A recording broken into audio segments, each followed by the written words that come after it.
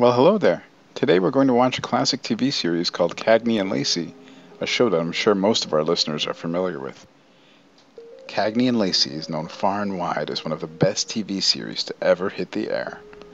So today we're going to reminisce and watch the series again with the entire cast of Then and Now. We will tell you about the original names and ages of the actors from the show and how they changed in 2023.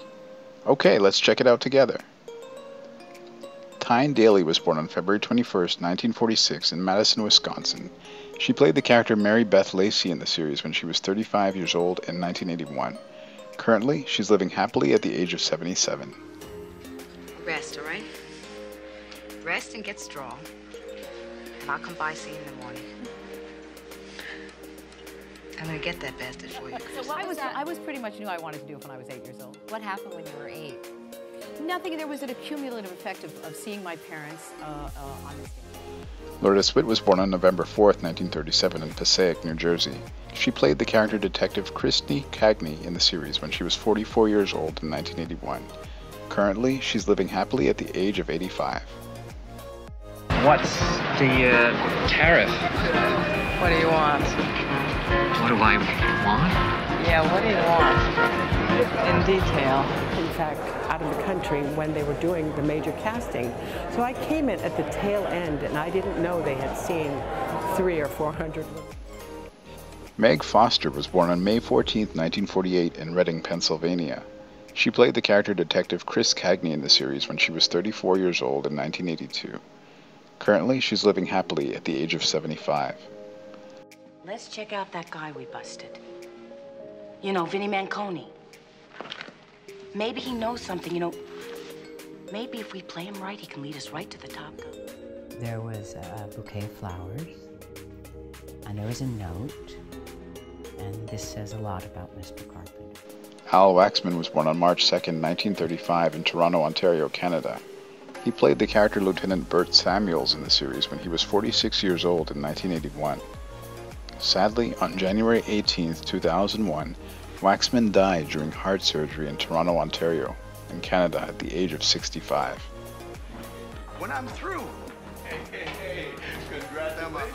Thank you. I don't know. In the springtime. Honey, this one I'm framing. It's on the wall. I hope to have you over sometime. I'd love you to look at it.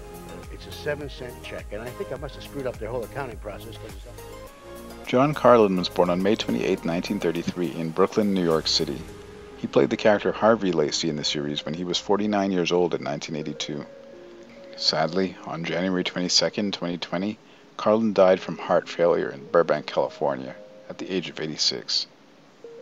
Soul woman. And I'm crazy about you, Harvey. Then why are you standing out in the hallway? that I know nothing about him. I never saw him. I you know a thing about him. I was pretty close to. This is the same. Carl Lumbly was born on August 14, 1951, in Minneapolis, Minnesota. He played the character Mark Petrie in the series when he was 30 years old in 1981. Currently, he's living happily at the age of 71. Got the manager here. Uh, he got to the room about the same time I did. And as soon as forensic shows up, I'll take him out, try and come up with something. Okay. Time I was living in San Francisco. I guess I had moved to San Francisco in 77, so it was just after that event had occurred. But Sharon Gless was born on May 31, 1943, in Los Angeles, California.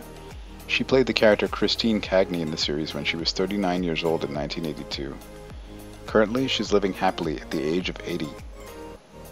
I nailed him. I think Mary Beth in the lake. Smith, Barney's assistant and our dear friend, is driving by and she sees the guy give me a ticket. And she goes, and I said, he doesn't care.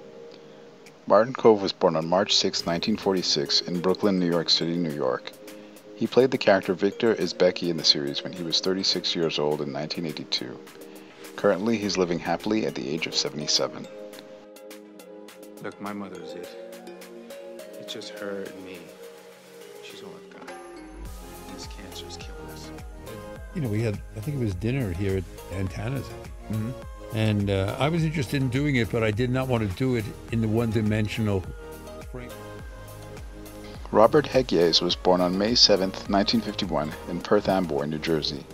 He played the character Manny Esposito in the series when he was 35 years old in 1986. Sadly, on January 26, 2012, Hegyes died from an apparent heart attack at John F. Kennedy Medical Center in Edison, New Jersey, at the age of 60. Night that the show was going to premiere. So we were like four or five episodes ahead of ourselves. And we aren't thinking much about it because our. Harvey Atkin was born on December 18, 1942, in Toronto, Ontario, Canada.